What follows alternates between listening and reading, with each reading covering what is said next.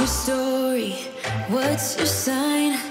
It's like we're twin flames in a different life. Deep connection lights a spark. It's like you know me in the depths of my heart. We're dreamers.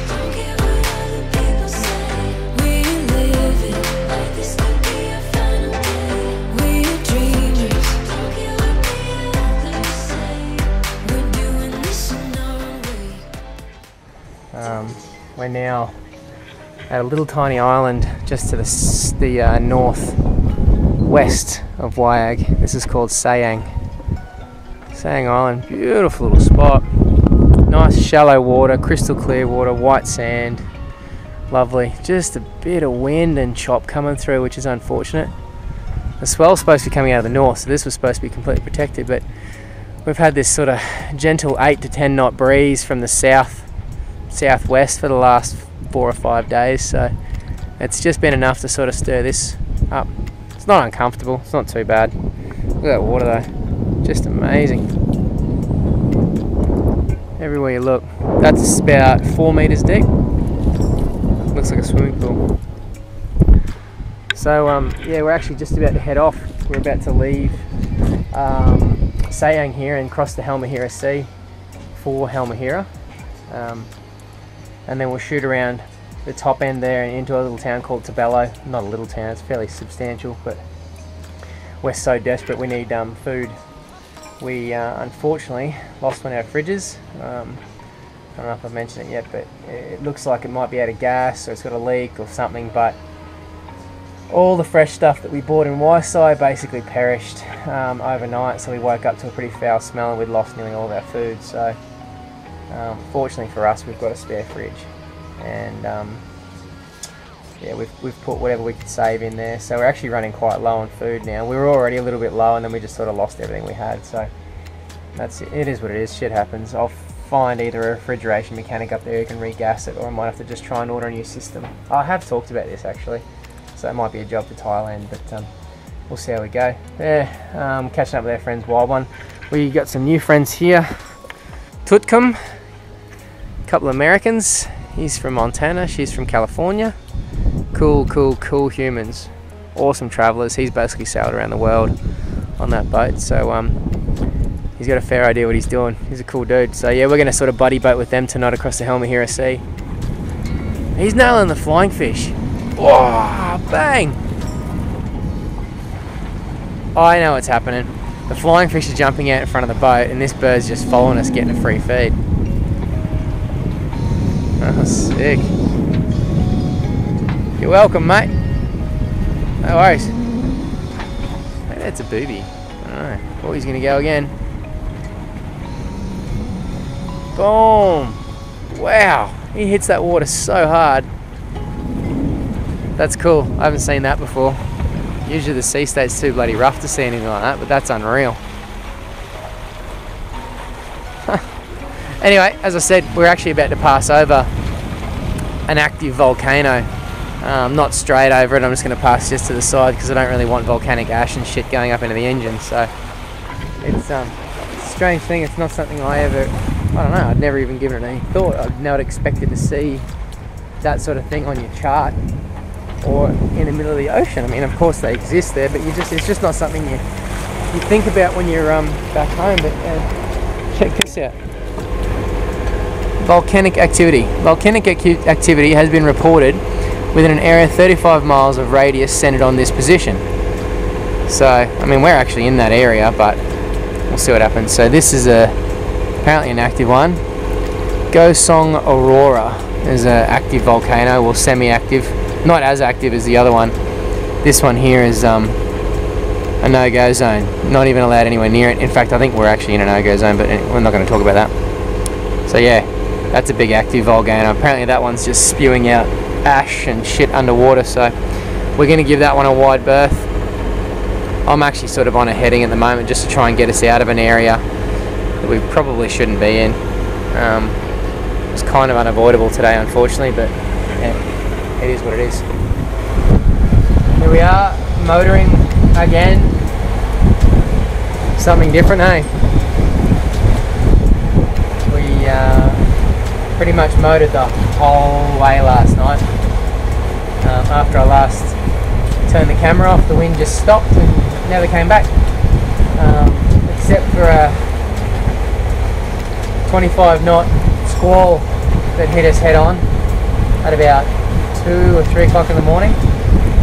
Um, we spent we spent the better part of about four hours trying to dodge storms, just these squalls out in the middle of the ocean. It was a nightmare. Speeding up, slowing down, turning, and just in the end, one of them just we couldn't avoid it, smashed us. But fortunately, it wasn't too bad. There's heaps of lightning out there, which makes us nervous, but um, yeah, we got through it. So I did. I know I said I was going to do some updates and shit, but I, I didn't bother last night because it was it was just completely uneventful, and all we were doing was motoring and stressing out with storms. Um, we got into Patik, attack, tic tac, whatever it is.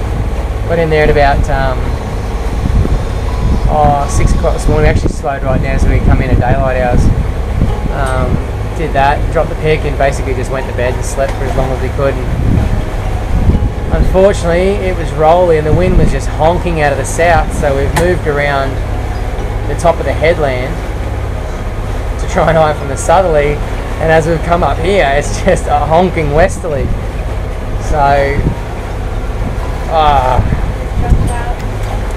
Uh, we didn't misjudge it. It, it. it was. It wasn't on the forecast at all. Like it's forecast to be two knots around here, two knots in this bay, and we've got we've got like 15 knots here at the moment, which would be spectacular if it was going the right way. But of course, it's on the nose. Everywhere you want to sail in Indonesia, the wind is on the nose. Everywhere you want to go, it doesn't matter.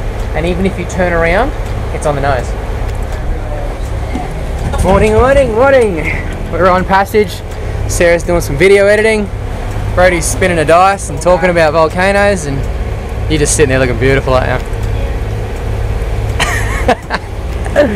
oh, cool. So we've uh, we've just left our first little anchorage in uh, northern Halmahera, and we're heading to Tobelo, um, which is just a, another little city with the plans to reprovision and restock and refuel and all that good stuff. We're actually going to head off north so if you look at a map, north of uh, Halmahera is a little island called Morotai.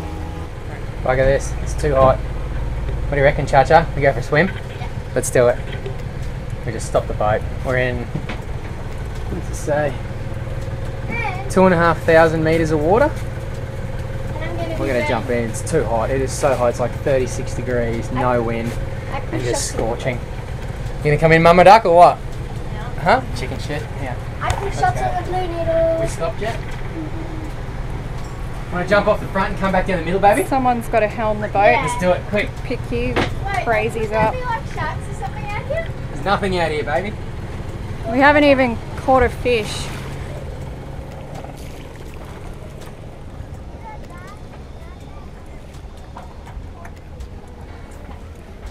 Oh, it's so dark.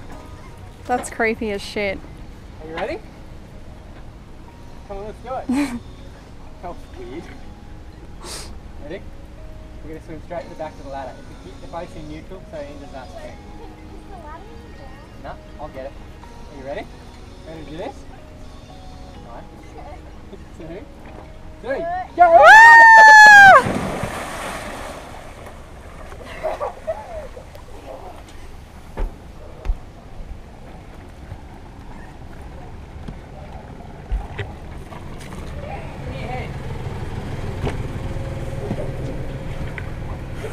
Still alive? Is that scary? I'll lift the ladder down. grab it, grab it, grab it! Ah! Crab. we have to jump in one. You nut jobs. It's so. It's such a fun thing. Open your eyes out of water. Straight down. Trust do it once. Just do it, put it down. No, do it.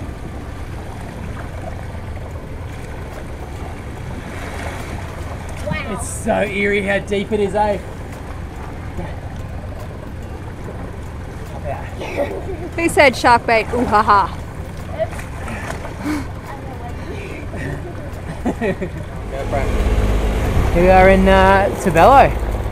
How cool is this place? Some beautiful big old sailing ships in there, big old Phoenices. These are the local water taxi. Yeah, let's see if we can get them all to wave.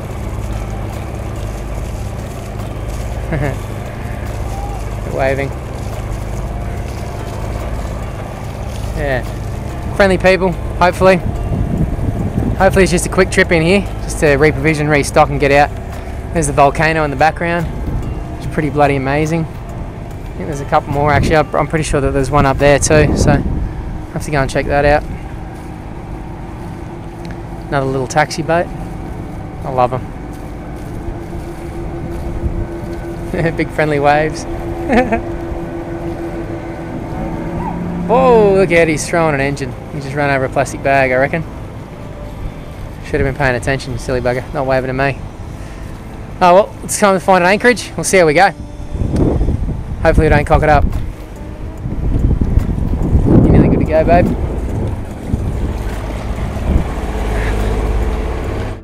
The township of Tobelo is located at the base of Mount Dukono volcano, which often spews ash all over the town and the anchorage. First thing next morning, we went to shore to get our provisions so we could get underway. Hello. Hello! Say hello! Hello. Good, good, good! Very good! Bagus! hey!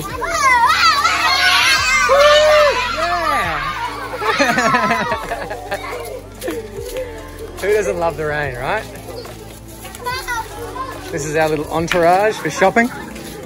These guys have followed us for about four kilometres so far, and they are just stoked.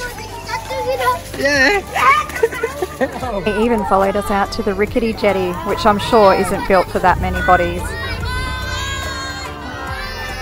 Stay tuned till next time when we explore the islands around Morotai.